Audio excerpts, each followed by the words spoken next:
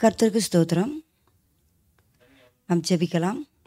தாமதிப்பேன் ஆகில் தேவனுடைய வீட்டில் நடக்க வேண்டிய வகையை நீ அறியும்படி இவைகளை உனக்கு எழுதுகிறேன். அந்த வீடு ஜீவனுள்ள தேவனுடைய சபையாய் சத்தியத்துக்கு தூணும் ஆதாரமாக இருக்கிறது என்று நாங்கள் பார்க்கிறோம் ஆண்டவரே. இந்த வசனத்தின்படியே இப்பொழுது வாசிக்கிற கத்துடைய வார்த்தையை நாங்கள் அறிந்து கொள்ளும்படியாக அந்த சத்தியத்துக்கு தூணும் சாட்சியுமாய் எங்களை ஒவ்வொருவரையும் எடுத்து நிறுத்தும்படியாக உங்கள் சமூகத்தில் எங்களை தாழ்த்தி அர்ப்பணித்து ஒப்பு கொடுத்து ஜெபிக்கிறோம். இயேசு கிறிஸ்துவின் நாமத்தில் ஜெபிக்கிறோம். எங்கள் ஜீவன் உள்ள நல்ல பிதாவே ஆமேன். லேவியராகமும் இருபத்தி ஆறாம் அதிகாரம். நீங்கள் உங்களுக்கு விக்கிரகங்களையும் சுரூபங்களையும் உண்டாக்காமலும் உங்களுக்கு சிலையை நிறுத்தாமலும் சித்திரன் தீர்த்த கல்லை நமஸ்கரிக்கும் பொருட்டு உங்கள் தேசத்தில் வைக்காமலும் இருப்பீர்களாக. நான் உங்கள் தேவனாகிய கர்த்தர். என் ஓய்வு நாட்களை அசரித்து என் பரிசுத்த ஸ்தலத்தை குறித்து பயபக்தியாக இருப்பீர்களாக. நான் கர்த்தர். நீங்கள் என் கட்டளைகளின்படி நடந்து என் கற்பனைகளை கைக்கொண்டு அவைகளின்படி செய்தால் நான் ஏற்ற காலத்தில் உங்களுக்கு மழையை பெய்ய பண்ணுவேன் பூமி தன் பலனையும் வெளியிலுள்ள மரங்கள் தங்கள் கனியையும் கொடுக்கும். திராட்சைப்பழம் பறிக்கும் காலம் வரைக்கும் போரடிப்பு காலம் இருக்கும். விதைப்பு காலம் வரைக்கும் திராட்சைப்பழம் பறிக்கும் காலம் இருக்கும். நீங்கள் உங்கள் அப்பத்தை திருப்தியாக சாப்பிட்டு உங்கள் தேசத்தில் சுகமாய் குடியிருப்பீர்கள். தேசத்தில் சமாதானம் கட்டளையிடுவேன். தத்தளிக்க பண்ணுவார் இல்லாமல் படுத்துக்கொள்வீர்கள். துஷ்ட மிருகங்களை தேசத்தில் இராதபடிக்கு ஒளிய பண்ணுவேன். பட்டயம் உங்கள் தேசத்தில் உலாவுவதில்லை. உங்கள் சத்துருக்களை துரத்துவீர்கள். அவர்கள் உங்கள் முன்பாக பட்டயத்தால் விழுவார்கள். உங்களில் ஐந்து பேர் நூறு பேரை துரத்துவார்கள்.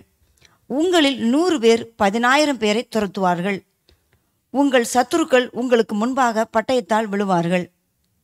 நான் உங்கள் மேல் கண்ணோக்கமாயிருந்து உங்களை பழுகவும் பெருகவும் பண்ணி உங்களோட என் உடன்படிக்கையை திடப்படுத்துவேன். போன வருஷத்து பழைய தானியத்தை சாப்பிட்டு புதிய தானியத்துக்கு இடம் உண்டாகும்படி பழையதை விளக்குவீர்கள். உங்கள் நடுவில் என் வாசஸ்தலத்தை ஸ்தாபிப்பேன். என் ஆத்துமா உங்களை அரோசிப்பதில்லை. நான் உங்கள் நடுவிலே உலாவி உங்கள் தேவனாய் இருப்பேன். நீங்கள் என் ஜனமாய் இருப்பீர்கள். நீங்கள் எகிப்தியருக்கு அடிமைகளாய் இராதபடிக்கு நான் அவர்கள் தேசத்திலிருந்து உங்களை புறப்பட பண்ணி உங்கள் நுகத்தடிகளை முறித்து உங்களை நிமிர்ந்து நடக்க பண்ணின உங்கள் தேவனாகிய கர்த்தர். நீங்கள் எனக்கு செவிகொடாமலும் இந்த கற்பனைகள் எல்லாவற்றின்படி செய்யாமலும் என் கட்டளைகளை வெறுத்து உங்கள் ஆத்துமா என் நியாயங்களை அரோசித்து என் கற்பனைகள் எல்லாவற்றின்படியும் செய்யாதபடிக்கு என் உடன்படிக்கையை நீங்கள் மீறி போடுவீர்களாகில் நான் உங்களுக்கு செய்வது என்னவென்றால் கண்களை பூத்து போக பண்ணுகிறதற்கும் இருதயத்தை துயரப்படுத்துகிறதற்கும் திகிலையும் ஈழையையும் காய்ச்சலையும் உங்களுக்கு வரப்பண்ணுவேன். நீங்கள் விதைக்கும் விதை விருதாவாய் இருக்கும். உங்கள் சத்துருக்கள் அதன் பலனை தின்பார்கள். நான் உங்களுக்கு விரோதமாக என் முகத்தை திருப்புவேன். உங்கள் சத்துருக்களுக்கு முன்பாக முறிய அடிக்கப்படுவீர்கள். உங்கள் பகைஞர் உங்களை ஆளுவார்கள். துரத்துவார் இல்லாதிருந்தும் ஓடுவீர்கள்.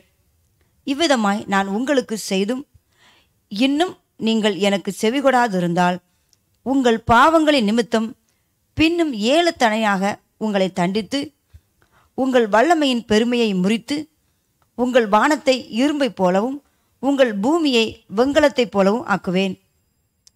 உங்கள் பலன் விருதாவிலே செலவழியும். உங்கள் தேசம் தன் பலனையும் தேசத்தின் மரங்கள் தன் கனிகளையும் கொடுக்க மாட்டாது.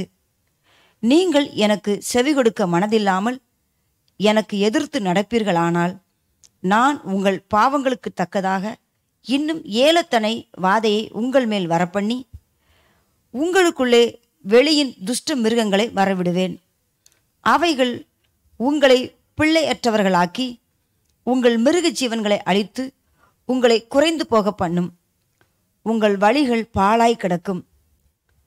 நான் செய்யும் தண்டனையினால் நீங்கள் குணப்படாமல் எனக்கு எதிர்த்து நடந்தால் நான் உங்களுக்கு எதிர்த்து நடந்து உங்கள் பாவங்களின் நிமித்தம் ஏலத்தனையாக வாதித்து என் உடன்படிக்கையை மீறினதற்கு பழிவாங்கும் பட்டயத்தை உங்கள் மேல் வரப்பண்ணி நீங்கள் உங்கள் பட்டணங்களில் சேர்ந்த பின் கொள்ளை நோயை உங்கள் நடுவிலே அனுப்புவேன்.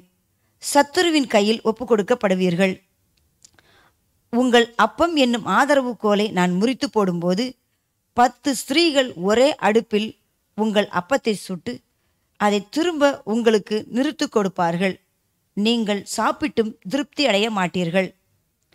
இன்னும் இவைகள் எல்லாவற்றாலும் நீங்கள் எனக்கு செவிகொடாமல் எனக்கு எதிர்த்து நடந்தால் நானும் உக்கிரத்தோடே உங்களுக்கு எதிர்த்து நடந்து நானே உங்கள் பாவங்களின் நிமித்தம் உங்களை ஏலத்தனையாய் தண்டிப்பேன். உங்கள் குமாரரின் மாம்சத்தையும் உங்கள் குமாரத்திகளின் மாம்சத்தையும் புசிப்பீர்கள். நான் உங்கள் மேடைகளை அழித்து உங்கள் விக்கிரக சிலைகளை நிர்த்துளியாக்கி உங்கள் உடல்களை உங்கள் நரகலான தேவர்களுடைய உடல்கள் மேல் எறிவேன். என் ஆத்துமா உங்களை அரோசிக்கும். நான் உங்கள் பட்டணங்களை வெறுமையும் உங்கள் பரிசுத்த ஸ்தலங்களை பாழுமாக்கி உங்கள் சுகந்த வாசனையை முகராதிருப்பேன். நான் தேசத்தை பாழாக்குவேன். அதிலே குடியிருக்கிற உங்கள் சத்துருக்கள் பிரமிப்பார்கள். ஜாதிகளுக்குள்ளே உங்களை சிதறடித்து உங்கள் பின்னாக பட்டயத்தை உருவுவேன். உங்கள் தேசம் பாலும் உங்கள் பட்டணங்கள் வனாந்தரமும் ஆகும். நீங்கள் உங்கள் சத்துருக்களின் தேசத்தில் இருக்கும்போது தேசமானது பாழாய் கிடக்கிற நாளெல்லாம் தன் ஓய்வு நாட்களை ரம்மியமாய் அனுபவிக்கும். அப்பொழுது தேசம் ஓய்வடைந்து தன் ஓய்வு நாட்களை ரம்மியமாய் அனுபவிக்கும். நீங்கள் அதிலே குடியிருக்கும் போது அது உங்கள் ஓய்வு வருஷங்களில் ஓய்வடையாதபடியினாலே அது பாழாய் கிடக்கும் நாளெல்லாம் ஓய்வடைந்திருக்கும். உங்களில் உயிரோடு மீதியாய் இருப்பவர்களின் இருதயங்கள் தங்கள் சத்துருக்களின் தேசங்களில் மனத்தளர்ச்சி அடையும்படி செய்வேன். அசைகிற இலையின் சத்தமும் அவர்களை ஓட்டும். அவர்கள் பட்டயத்திற்கு தப்பி ஓடுகிறது போல ஓடி துரத்துவார் இல்லாமல் விழுவார்கள். துரத்துவார் இல்லாமல் பட்டயத்துக்கு முன் விழுவது போல ஒருவர் மேல் ஒருவர் இடறி விழுவார்கள். உங்கள் சத்துருக்களுக்கு முன் நிற்க உங்களுக்கு பலன் இராது.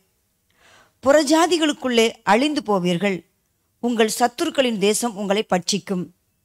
உங்களில் தப்பினவர்கள் தங்கள் அக்கிரமங்களின் நிமித்தமும் தங்கள் பிதாக்களின் அக்கிரமங்களின் நிமித்தமும் உங்கள் சத்துருக்களின் தேசங்களில் வாடி போவார்கள் அவர்கள் எனக்கு விரோதமாக துரோகம் பண்ணி நடப்பித்த தங்கள் அக்கிரமத்தையும் தங்கள் பிதாக்களின் அக்கிரமத்தையும் அறிக்கை இடுகிறதுமன்றி அவர்கள் எனக்கு எதிர்த்து நடந்தபடியினால் நானும் அவர்களுக்கு எதிர்த்து நடந்து அவர்களுடைய சத்துருக்களின் தேசத்திலே அவர்களை கொண்டு போய் விட்டதையும் அறிக்கையிட்டு விருத்த சேதனமில்லாத தங்கள் இருதயத்தை தாழ்த்தி தங்கள் அக்கிரமத்துக்கு கிடைத்த தண்டனையை நியாயம் என்று ஒத்துக்கொண்டால் நான் யாக்கோபோடே பண்ணின என் உடன்படிக்கையையும் ஈசாக்கோடே பண்ணின என் உடன்படிக்கையும் ஆபிரகாமோடே பண்ணின என் உடன்படிக்கையும் நினைப்பேன் தேசத்தையும் நினைப்பேன்.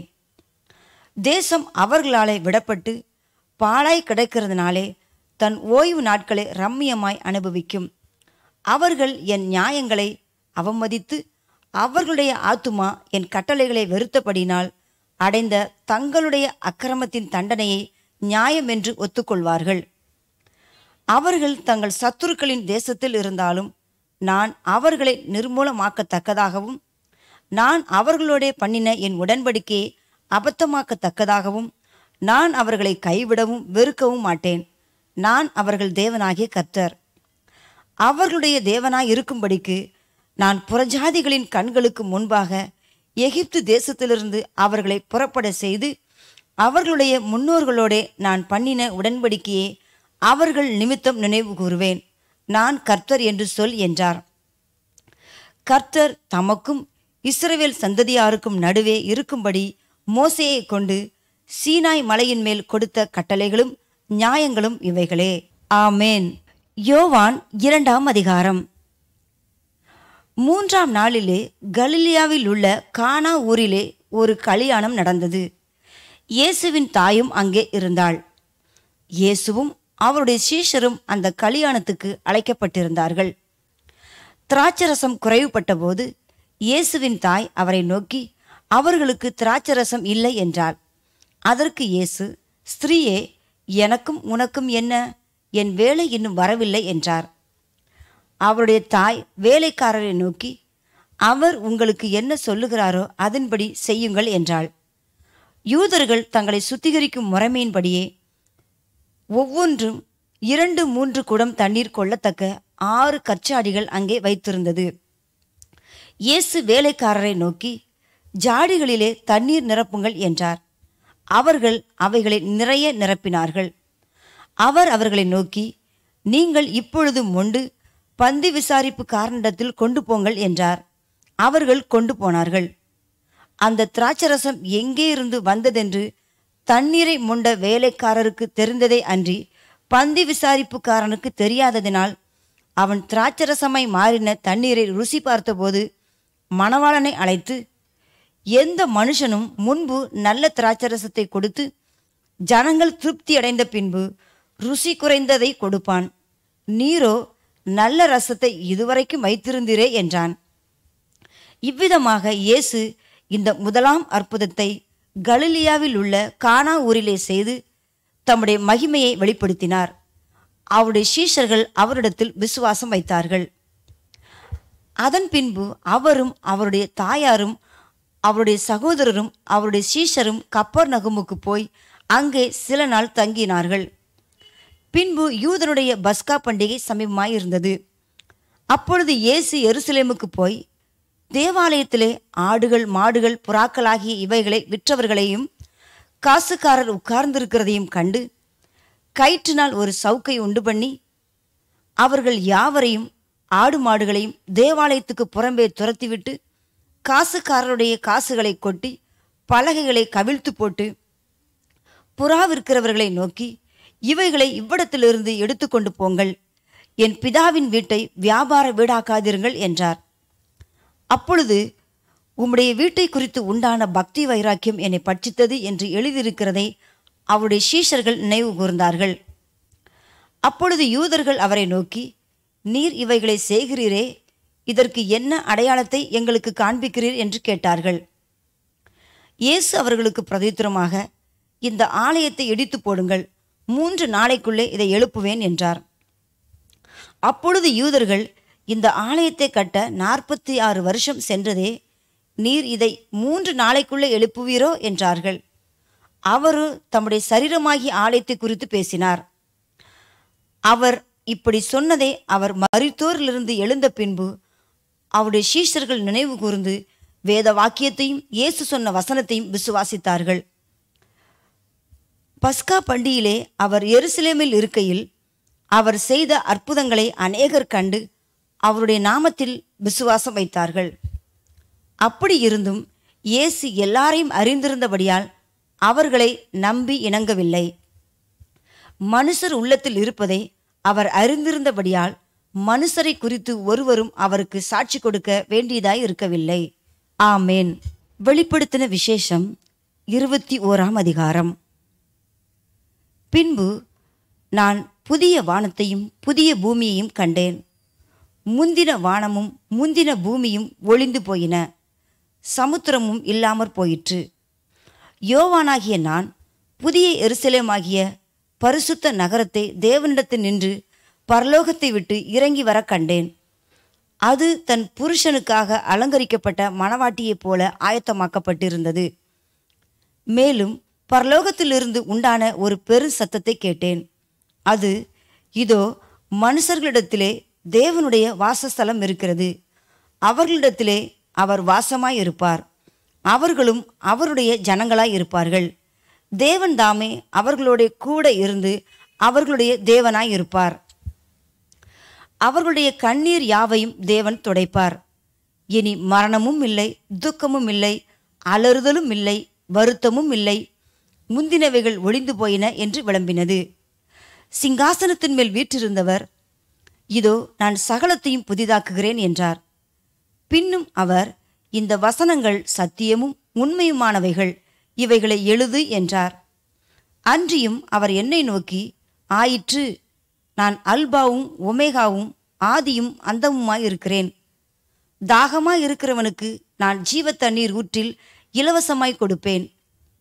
ஜெயம் கொள்ளுகிறவன் எல்லாவற்றையும் சுதந்திரித்துக் கொள்ளுவான். நான் அவன் தேவனாய் இருப்பேன் அவன் என் குமாரனாய் இருப்பான்.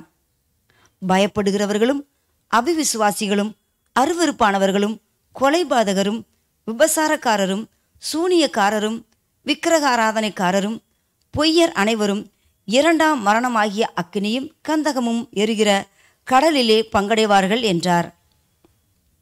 பின்பு கடைசியான ஏழு வாதைகளால் நிறைந்த ஏழு கலசங்களை உடைய அந்த ஏழு தூதரில் ஒருவன் என்னிடத்தில் வந்து நீ இங்கே வா ஆட்டுக்குட்டி ஆனவருடைய மனைவியாகிய மணவாட்டியை உனக்கு காண்பிக்கிறேன் என்று சொல்லி பெரிதும் உயரமுமான ஒரு பர்வதத்தின் மேல் என்னை ஆவியில் கொண்டு போய் தேவனுடைய மகிமையை அடைந்த எருசலேமாகிய பரிசுத்த நகரம் பரலோகத்தை விட்டு தேவனிடத்தில் இருந்து இறங்கி வருகிறதை எனக்கு காண்பித்தான்.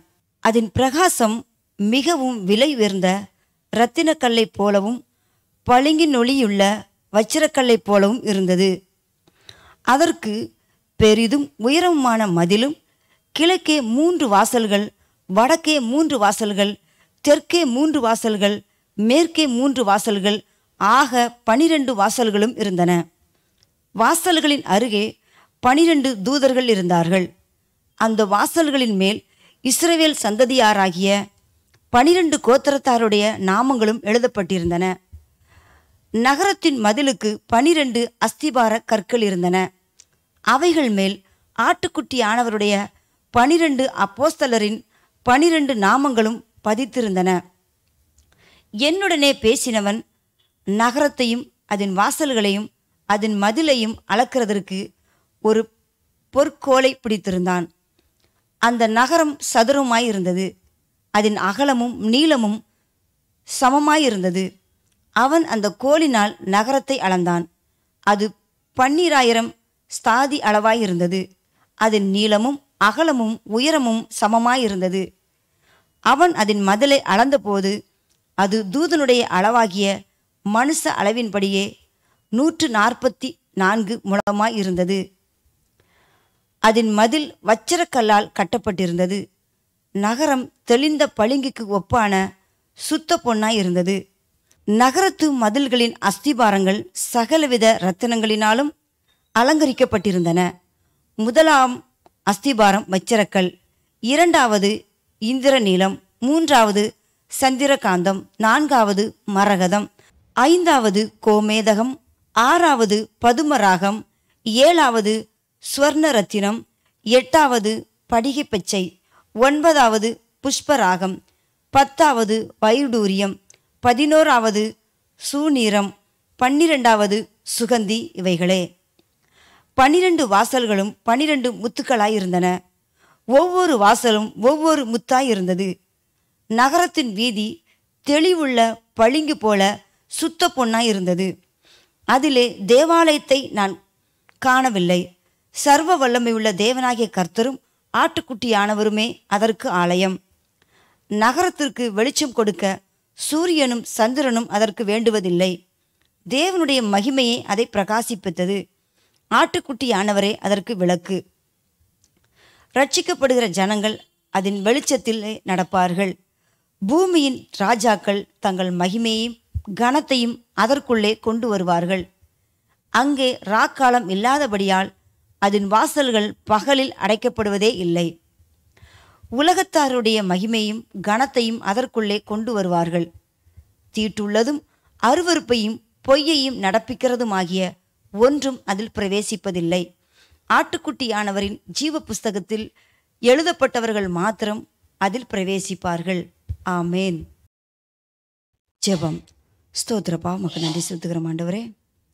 நீங்கள் எகிப்தியருக்கு அடிமைகளாக இராதபடிக்கு நான் உங்களை எகிப்திலிருந்து புறப்பட பண்ணி உங்கள் நுகத்தடிகளை முறித்து உங்களை நிமிர்ந்து நடக்கண பண்ணின உங்கள் தேவனாகிய கர்த்தர் நானே என்று சொன்னீங்களப்பா உமக்கு நன்றி செலுத்துகிறோம். எங்களை அடிமைத்தனத்திலிருந்து நீங்கள் புறப்பட பண்ணிட்டீங்க. எங்கள் முக நுகத்தடிகளை முறித்து அப்பா எங்களுடைய அப்பா ஸ்தோதரிக்கிற ஆண்டவரே உமக்கு நன்றி செலுத்துகிறோம். எங்களை நிமிர்ந்து நடக்க பண்ணிட்டீங்கப்பா உமக்கு நன்றி செலுத்துகிறோம்.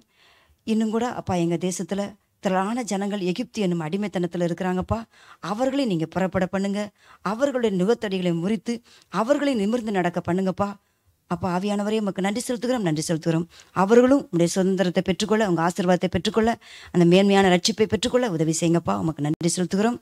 இன்னும் யோவானில் வாசித்தோம் ஆண்டவரே அன்றைக்கு கலிலியாவில் உள்ள காணாவூரிலே நீங்கள் முதலாம் அற்புதத்தை செஞ்சு அப்பா உங்கள் மகிமையை வெளிப்படுத்துனீங்கப்பா. அது நிமித்தம் சீஷர்கள் உங்களிடத்தில் விசுவாசம் வைத்தார்கள் என்று பார்க்கிறோம் ஆண்டவரே. ஏசப்பா இந்த நாட்களையும் கூடப்பா அப்பா ஸ்தோத்திரிக்கிறோம். பாப்பா உங்க நன்றி செலுத்துக்கிறோம் ஆண்டவரே. உங்களுடைய பிள்ளைகளாக எங்களுக்கும் ஆண்டவரே நீங்கள் அற்புதத்தை செய்யுங்க உங்கள் மகிமையை வெளிப்படுத்துங்க.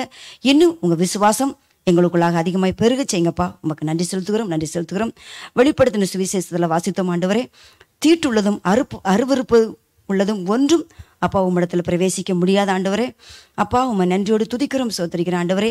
எங்கள் வாழ்க்கையில் இந்த விசுவாச வாழ்க்கையில் தீட்டுள்ளதும் அருவருப்புமான எந்த காரியமும் எங்கள் வாழ்க்கையில் இல்லாதபடிக்கு எங்களை பரிசுத்தமாய் காத்துக்கொள்ள. நாங்கள் எங்களுடைய பேர் ஒவ்வொருவருடைய பேரும் அப்பா அந்த பரலோகத்தில் உள்ள ஜீவ புஸ்தகத்தில் எழுதப்படணும் ஆண்டவரே. கிருபை செய்யுங்கப்பா. எங்களை அப்படியே வழிநடத்துங்க. எங்களை தாழ்த்துக்கிறோம் அர்ப்பணிக்கிறோம்.